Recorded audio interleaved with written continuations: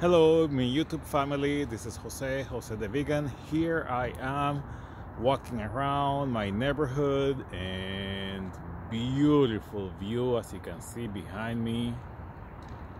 And it's just very nice. So this is a very uh, warm December. I believe temperature today was 55.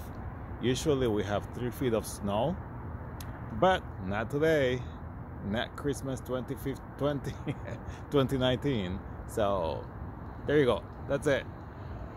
Merry Christmas.